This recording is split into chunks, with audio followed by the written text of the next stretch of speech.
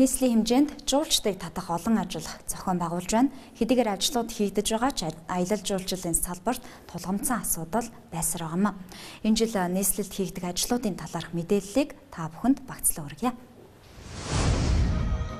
Монголчууд 2020 он гэхэд жилд 2 сая жуулчин хүлээн авдаг болно гэсэн том зорилготой Гэвч өнөөгийн дэд үтэц үйлчлэгээний нөхцөл байдал тэрхүү зорилтыг хоосон мөрөөдөл болгочих сул тал байна. Сүүлийн 5 жилд жуулчид нэмэгдсэн гэж байгаа ч үнэн хэрэг дээрээ цэвэр аяллаа шугамар Монголд нэвтэрсэн нь цөөхөн гэж мэрэгжлийн холбоодын хүмүүс хэлдэг юм а. Жил бүр 400 мянган орчим жуулчин хүлээн авч байна.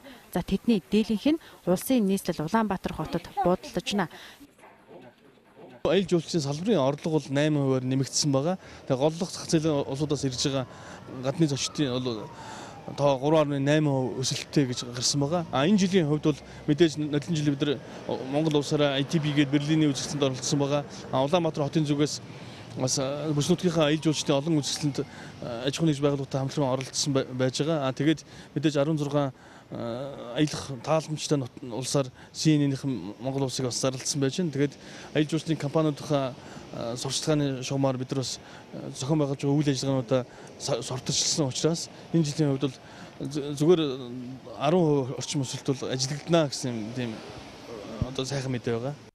Хотын тухайд Найрсаг Улаанбаатар хөтөлбөрийн хүрээнд хэд хэдэн ажил хийхээр төлөвлөжээ. За энэ үйл ажиллагаагаар жуулчин татна гэсэн төлөвлөгөөтэй байна.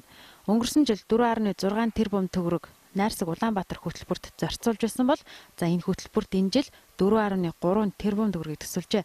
Үйл ажиллагаа зохион байгуулад жуучин татаж болох юм. За гэхдээ гадаадын жуулчдаас илүү дотоодын аялал жуулчлалыг хөгжүүлэх шаардлага байгаа юм а. Тиймээс дотоод аялагчдын тав тухыг хэрхэн хангаж ажиллаж байгааг бид мөн асуусан юм а.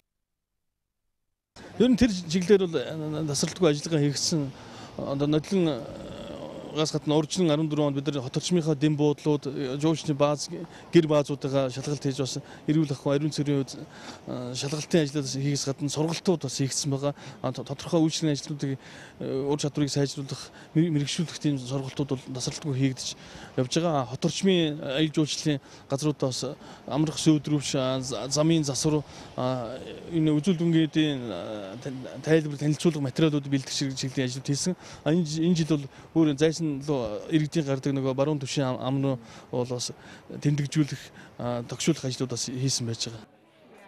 Манай улсад одоогоор 600 гаруй аялал жуулчлалын тур оператор компани 370 орчим зочид бодол 300 гаруй жуулчны бааз ажиллаж байна.